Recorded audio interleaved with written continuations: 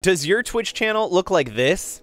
If it does, we need to fix that immediately. So make sure to watch all the way to the end of the video to make sure that we get your profile looking cool. In this video, I'm going to be showing you exactly how to make Twitch panels for your Twitch channel to show you how to stream on Twitch in style. So if that sounds good to you, make sure to drop a like on this video so this Yoshi doesn't cry he's not going to be able to sleep. And you don't know how hard it is to get this guy to sleep. But enough talking, let's get straight into making the Twitch panels. So as you can see right now, we're on our new Twitch channel right here. We don't have anything in our about section. We have no panels. The only thing we have is, I'm a good streamer, please follow me. Let's change this up a little bit and add some Twitch panels. First thing you want to do, if you don't know how to get to this page, just go into the top right corner when you're logged in, click on channel, and then all you have to do is click on the little chat button right here and then if you scroll down, then you can see this edit panels button right here. And that's where we're going to be doing all of the editing for the panels. So click on this little edit panels button right here. We have our first panel, but if I remove it, this will probably look similar to your Blink one. So what you want to do is click this little plus button space right here, and you have the option of adding a text or image panel or extension panel. I'm going to be going over both of these in this video, so make sure to watch all the way to the end to learn which ones are which. But let's keep it easy and start by adding a text or image panel. So what you can see here is a panel title. So if we type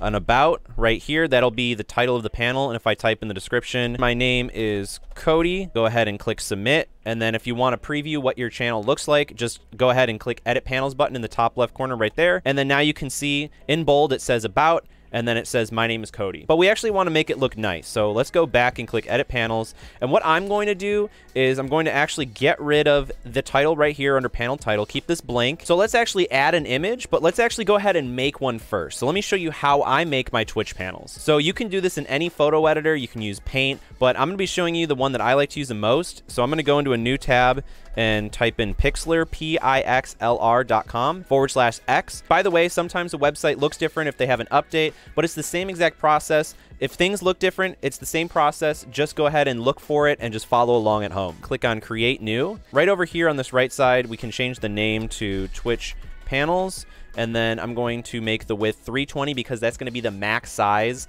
that you can make any of your Twitch panels in terms of width, but you can make the height to be whatever you'd like. So if you want like a square, you'd obviously do 320 by 320. The most popular are like the little the little ones that kind of look like labels. I find the best height for me happens to be 70 pixels. So my width is going to be 320 pixels and my height's going to be 70 pixels. Once we have that there, let's go ahead and click create. And then now you can see this is going to be about the size of the about panel that I'm going to be making right now. But we're going to be making all of our panels here, so let's go ahead and do that. First things first, I want a background here. If you want to just do like a solid background, which I don't recommend, you can just go ahead and click on draw on the left side, and then the shape tool, and then you can pick a color like red, and then now I can click on like the little square here, and I can just click and drag, and then you have a red background, and then you would add text over it. But that looks kind of ugly, so I'm going to control Z, or you can go to the bottom and click undo. And what I'm going to do is actually go open up a new tab, type in Pexels, P-E-X-E-L-S. And then now I'm just going to go to the website, and it's free stock photos. So I'm going to type in, let's say, abstract background. And then now all of these stock photos are free, so you don't have to worry about it. But I'm going to find something that kind of looks cool, like a little pattern that I can use. I actually really like the sunset over here. So I'm going to just go ahead, click on the picture, and then I'm going to actually right-click on this. This is one of the reasons I really like Pixlr, by the way. You go ahead and click copy image address. Not copy link address, copy image address. So click that, and then now go back to Pixlr. Go on the left-hand side, click on add image, click on URL, and then you're going to go ahead and control V or you can right click and paste and then click load. And then you can go ahead and click add current. So that's going to add our picture to the current little canvas that we got working on here. So now as you can see if I scroll out with the mouse wheel that the picture's freaking huge and our panel is super small. So you can either just kind of drag it around and get the color scheme that you want but I want it to be more clear and just more abstract so in terms of like the color changing. So I'm gonna actually make this a little smaller and just kind of get it to right about there. I think that is actually a good, that's like a good little blend of colors that I like. So this is going to be the main foundation of our panels. So then now we want to add our text. So if you go to the left-hand side, click on Add Text. At the very top, you can click Add Text with the default text. So click that. And then in the text, I'm going to start off with an About panel. So I'm just going to type About in all caps. And I'm going to go ahead and click a font. Honestly, you can pick any font that's going to stand out nicely. I happen to like uh, one called Daddy Day because it's just you can read it very easily. But if you notice these little like yellow boxes here, that means you have to pay for it. So just pick the free fonts. So I'm going to go and click Daddy Day. And then now you can click on this little this little box here. And if you're having trouble grabbing the text, actually go to the right-hand side and click on the layer for it. So click on that. We can move around the layer pretty much freely as we'd like. Let's go ahead and scroll down here. I'm going to make it a little bit bigger, maybe about 64 about, maybe. That looks kind of good. And then you can just click and drag until it fits and snaps in the middle right there. But you can't really see that too well. I'm going ahead and make it a little bit more clear. So as you can see, I clicked off my layers, but if you hover your mouse over, like I click on this, then I can edit the background for it, so I can move that around. But I just want to edit the text. So what I'm going to do is just click on the text again, and then I'm going to scroll down and what we can do is we can click bold. I'm not going to do bold because I have a way that I think it looks better. So scroll down and go to outline. And I'm going to drop down the little menu here. I'm going to make it uh, black. So I'm just going to go ahead and click black. And then scroll down. I'm going to make the size probably all the way to max. And then now I'm going to just click on the, the picture over on the side, and then I'm going to scroll in. You can see that it's a little pixelated because we are scrolled in and zoomed in very, uh, very closely. But I just want to make sure that it's about center to what I would like. And now I'm going to scroll out. And now we have our About panel right here. So let's go ahead and click Save and then I'm just going to call it Twitch About Panel. Make sure that the size is small enough for you to be able to do it. I believe the max picture size is 2.9 MB, uh, but I'm going to go ahead and click PNG, and it's 12, almost 13 kilobytes, so we're, we, we're fine. We're completely fine.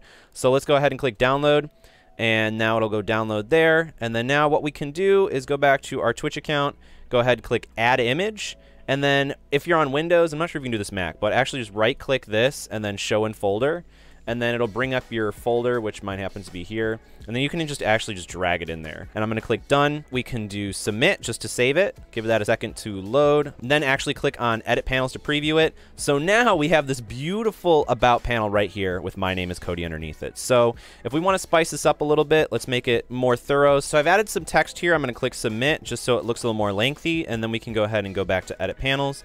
And now you can see we actually have a little bit of text here. So telling them what the stream is about, what my name is, and then what to expect basically when they're watching the stream. As you can see, this text is pretty boring. Let's actually go ahead and add some bold text and then maybe add a link or two. So go back, edit panels, and then let's go, I want to bold the bottom part. So in order to make bold text, all you have to do is simply just go to the very beginning of the line and then add a little hashtag or a little pound sign depending on how old you are. So let's actually add a link right now. I'm to add my YouTube link is just go and add a bracket type in the text that you want them to see so I'll just type in YouTube channel and then I'll close the bracket.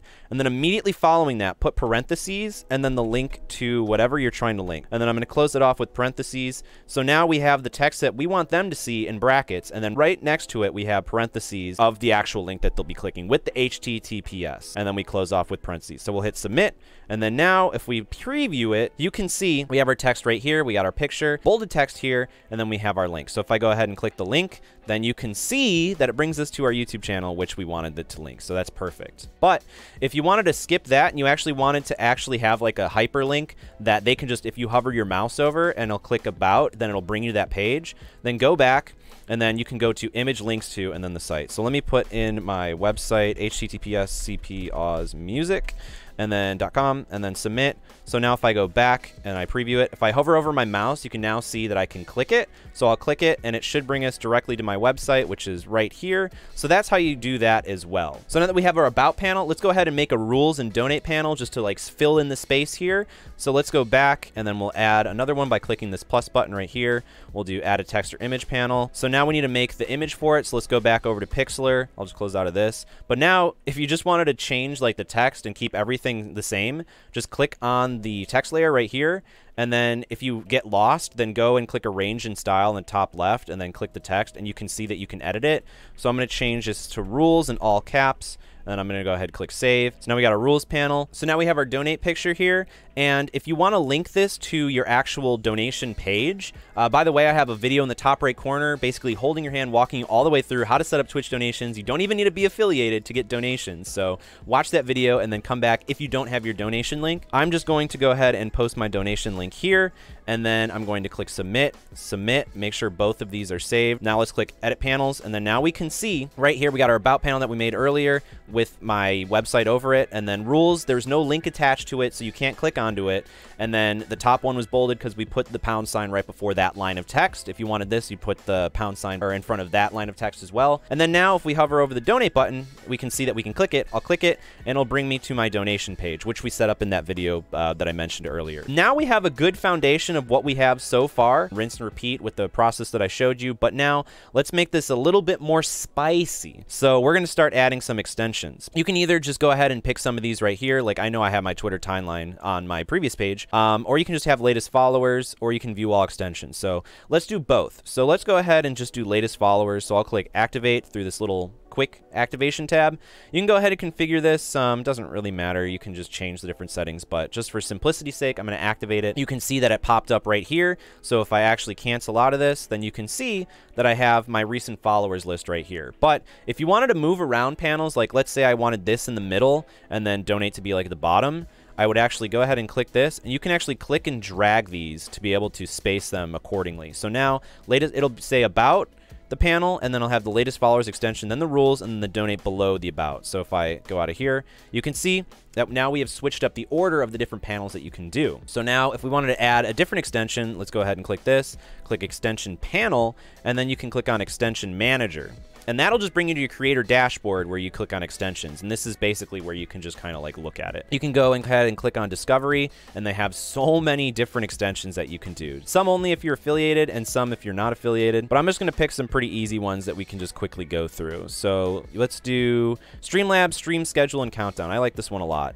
So we'll go ahead and click configure after we installed it. And then now you can change the color of basically your schedule. It's going to be a live countdown timer of when you're going to be live next. So if you don't have a schedule, please make a schedule. I have a video in the top right corner of a bunch of different ways on how to grow your stream. By the way, to touch on that, if you guys are wondering why my hair is so short, we actually cut it live on stream. I had chat help me cut my hair. So if you guys want to join our Twitch streams, all of the stupid things that go on, I'll leave a link in the description down below to the Twitch channel. Let's go ahead and we know that I stream Monday, Tuesday, Wednesday at 7 p.m. Central, Central America, Chicago, so that's close enough. And then what you can do is add your time. So I stream on Monday at about 7 p.m. This is an army time, so 7 p.m. would be, quick math here, 19. But I want to give them a little heads up, so I'll do 18 at like uh, 55. And then you just rinse and repeat for Tuesday and Wednesday. Save settings right here. X this out. Go ahead and click on activate and we'll set as a new panel. So add as new panel and then click done. So now if we go back, click on the top right corner and then go to channel. You can also have this in a separate tab. That would probably be more convenient. Go to chat, scroll down, and then now you can see that we have our Streamlabs countdown timer here when we go live next. Doesn't show Tuesday and Wednesday because I was too lazy to add the times. need to add the times, but let's go ahead and move this to the bottom. So click edit panels, click and drag this, and we'll bring it all the way to the bottom next to latest followers. And then we can actually get rid of this extension panel. You can go ahead and add the extensions manually here. But now you can see we got our about, we got our rules, donate, and then you can click on everything. We got some extensions here. Design it to the way that you want it to do. Make it look nice and squeaky clean. Now that you know how to make your own Twitch panels, feel free to make as many free Twitch panels as you'd like. This channel is all about helping brand new streamers just like you. So if that sounds good, make sure to drop a sub and check out the rest of the videos on the channel. If you guys need new streaming gear, I'll leave links in the description down below of everything that I would recommend. I'll leave some videos right here and there that I think are going to help you, and I'll see you in the next one.